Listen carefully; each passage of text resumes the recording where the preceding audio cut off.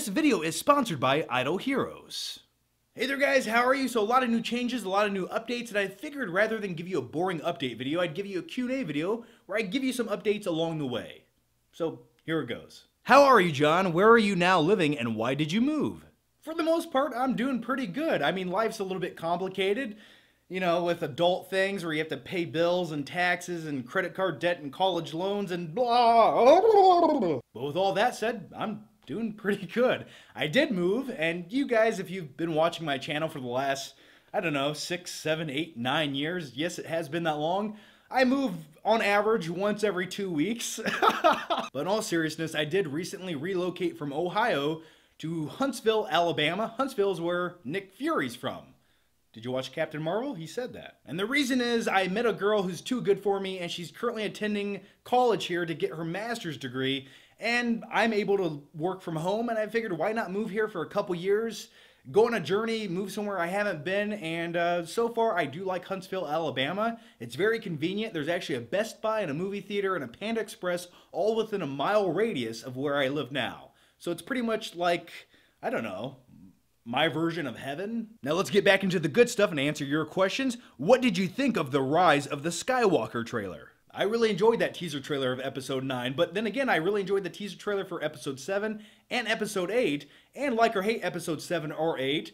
And on a side note, the more I watch episode 8, the more I dislike that movie. Every time, I'm just like, why did you do that? As a teaser trailer, it got me intrigued to see the movie. I like seeing the Death Star remains in that oceany Arctic setting. That gave me little chills down my spine. I can't wait to see what happens with that. I hope it's not just they walk by it and go, oh, that's cool. That's the Death Star. Awesome. And then they keep walking. Please, they have to go into that thing, explore it, and I'm hoping that they come across Emperor Palpatine at some point. Maybe he's just been in there eating Ewoks for the last 30 years and setting up little booby traps. That's what I would like to see, but I can't wait to see how that all culminates together. Are you avoiding all the spoilers for Avengers Endgame? So what I'm going to do to avoid spoilers, and my recommendation to you is just lay in your bed in the fetal position with cardboard taped to your windows with a pillow over your head. Just do that from today until the movie comes out. And you might be okay. And very quickly, before we dive deeper into your questions, big thanks to Idle Heroes for sponsoring this video. You can play Idle Heroes anytime and anywhere. A few weeks ago when I first moved into this apartment, I didn't have the internet for two or three days, and I played Idle Heroes on my phone for two or three days as I laid here on my floor waiting for the internet guy to show up, who had a mullet, by the way. Really nice guy. That's besides the point. It's a fun and enjoyable game that you can play at your own leisure. There are daily tasks you can complete in just five minutes, and all you need to bring to the battle is strategy. There are six factions in the game with more than 300 unique heroes. Idle Heroes is completely free. Click the link down below in the description box to download the game. Check it out. And once again, big thanks to Idle Heroes for sponsoring this video because, well, they make things happen like electricity and the internet and being able to make videos for you guys. So big thanks to them. Thoughts on the original Pet Sematary? Are the sequels worth watching? I never really loved the original Pet Sematary film. It was one of my least favorite Stephen King films brought to the big screen. Then again, I sort of like Maximum Overdrive, so who am I to say what's good and bad for Stephen King? Um, but as far as the sequel goes, starring Edward Furlong, it was sort of a guilty pleasure movie. It's it's a bad movie, but there's little things about it that I really enjoyed, and maybe it's just because I liked Edward Furlong when I was a kid because I just imagined him being my best friend. And as far as the remake of Pet Sematary goes, I did see the movie a few weeks back, and overall, it's an okay horror film to watch. I, I would recommend maybe renting it or watching it on Netflix one day. I don't think it's that mandatory theater experience that you need to go to, but I did think it vastly improved upon some things that the original fell short on, and it goes into a little bit more depth and focuses on the actual Pet Cemetery. And I enjoyed those little things about it. So I think the remake of Pet Sematary might be a better movie than the original. And you don't really say that too many times these days, do you? What kind of camera are you using now? Your videos are so clear. Also, tell us how you really feel about the Star Wars trailer. Well, we already talked about the Star Wars trailer. I just hope I like the movie as much as I like the trailer. So please, JJ, just give me a good movie. And as far as the camera that I'm using these days, I'm actually using a Canon 70D. It's the same camera I've been using for the last couple of years. Uh, before that, I used a Canon Vixia HF-G10. And if you want to know what kind of microphone I use, and even if you don't, I'm going to tell you, I use a Rode Video mic that I bought in 2012. My name is Morgan Freeman. Eh, I've been doing that joke for six years. I'm the only one who finds it funny. What do you think about all the Disney live action remakes? As a dude who really enjoyed the Jungle Book film that we got a few years back, as far as the upcoming live action Disney remake movies, you know, I could take them or leave them. You know, I'm a fan of the animated classic stories that we already have. As far as a remake, do I feel like they're necessary? No. Do they make Disney more money? Yes. Uh, as far as Dumbo, I didn't go to see that film. I have no desire to go see Dumbo. If it's on Netflix at 3 o'clock in the morning and it's a rainy day and I have some Sour Patch Kids and some popcorn and a Diet Coke with three ice cubes, no more, no less, and some leftover Panda Express, orange chicken preferably, and some fried rice, I might just watch that movie. Maybe.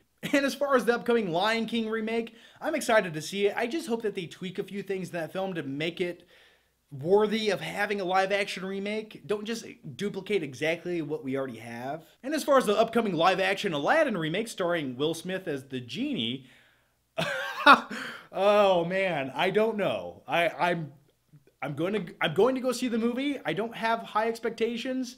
Um, I it's not how I imagine that movie looking in live action because when it comes to Aladdin, it's my favorite classic animated Disney movie of all time. So what are you most excited for in Endgame? Oh, another Endgame question, and that's okay because I really want to talk about the movie. Um, pretty much, I'm most excited just for the fact of going to see the film. I need a really good theater experience because it's been a while since I had one of those amazing, mind blowing experiences. Um, another thing is, I was actually invited to a screening of the film, but it's in Atlanta, which is like three and a half hours away and I could see the movie two days early, so I'd have to drive seven hours to see the movie two days early. I don't know, I don't know if I'm willing to do that. Uh, but what I most want to see in that film is I want to see Hulk actually transform in that film and get his revenge on on Thanos. Give me that scene because he has he's got a lot of making up to do, and Hulk's one of my favorite characters of all time. But really, there's a thousand different scenes I want to go down in that film. You know, Captain America, who sacrifices themselves, who dies, I don't know. What is the post-credit scene in that film? There's so many things happening. All I can say is, I'm so happy it's three hours long. If it was four and a half hours long, that's okay because I'm going to wear an adult sized diaper to the film. I will not take a bathroom break in this movie. So I'm sorry for the person sitting next to me you know what? This is the one film it's okay to uh, pee your pants in. Remember the Flick Pick said that.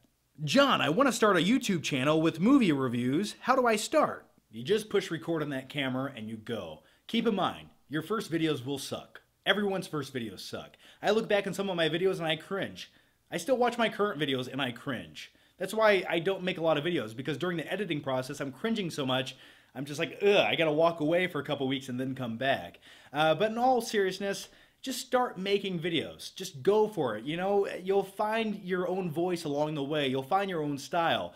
You know, just whip out your camera, turn on a few lights, and make the best video you possibly can. Over time, they will get better, but the first thing you have to do is just push record on that camera. It's that easy. By the way, very quickly, once again, this video is sponsored by Idle Heroes. You can download it with the link in the description box. Are you thinking of getting Disney Plus? Uh, probably not. You know, I already have Netflix, I have Hulu, I have Amazon Prime. I just recently got HBO, but that was only to watch the new season of Game of Thrones, which, by the way, every Sunday, it's pretty much like my reason for getting through the week, just so I can watch Game of Thrones.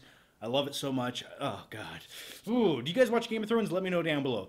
Uh, anyway, as far as another streaming service, probably not. And to be honest, I watch so much YouTube. I watch so many random YouTube channels and random topics about you know, the making of laser discs in 1982 and, uh, you know, how to build a birdhouse and movie reviews. It just, I have so much stuff to watch already, it's almost overwhelming. So I probably most definitely will not be getting Disney Plus. What movie made you fall in love with movies?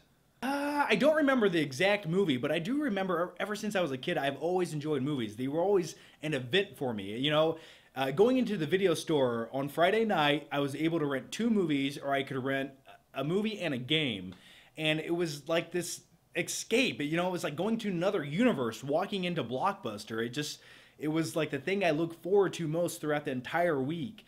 Um, so I discovered a lot of random movies just going up and down the aisles of Blockbuster, picking up weird covers. Movies like Shocker, That's how I discovered Shocker. I was like, oh, this looks weird, so I'll, I'll, watch that. And also, growing up, I remember my dad used to record movies off of TV or HBO on a beta tapes. And kids, if you don't know what a beta tape is, it's sort of like a VHS tape, but it's another version. It's almost like what HD DVD is to Blu-ray. Think of it that way.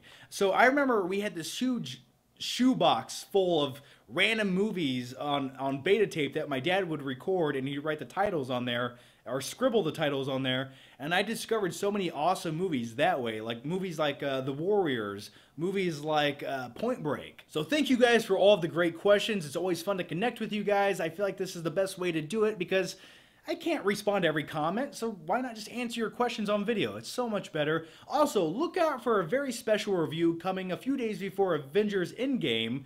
It's a review a lot of people have been asking me to make that I never did, so look out for that video here on the Flickpick channel. As always, guys, thank you for watching. Make sure you subscribe. That way I can see you next time.